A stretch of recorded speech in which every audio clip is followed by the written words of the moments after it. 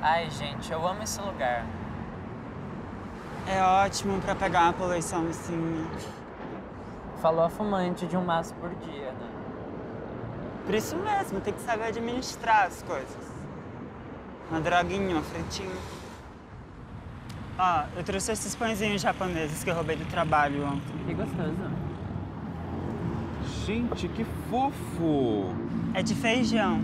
É salgado? Não, é doce. Que gracinha!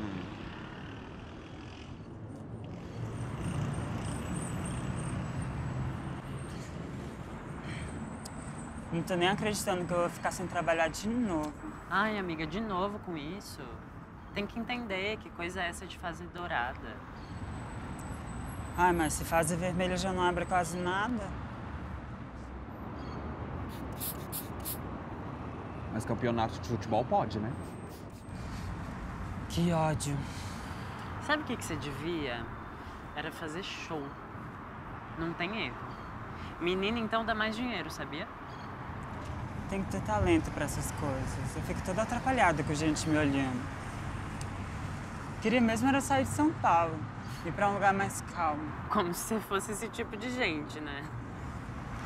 Ah, mas se é pra ficar aqui, pagando aluguel caro, sem trabalho, sem cursinho, sem porra nenhuma, caralho, eu prefiro ser abduzida. Você é da onde? Eu nasci em Fortaleza, depois eu fui pra Porto Alegre. Eu gosto de mudar. Mas agora, né?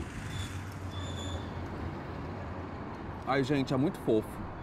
Não sei nem por onde começar. Eu sempre começo pelo cérebro. É que tu é insensível, né? Ai, que nada, viadinho. Se eu como o cérebro primeiro, ele morre de uma vez. Não fica sofrendo. Entendi. Bom, eu vou no nariz. Gente, e se o mundo acabasse? Ia ser bafo, né? Imagina presenciar isso. Ai, de jeito nenhum. Eu quero ficar velha, rica e poderosa. Só torrando na minha piscininha. Sabe aquelas velhas roucas de tanto fumar cigarro e a pele de galinha de tanto tomar sol? É.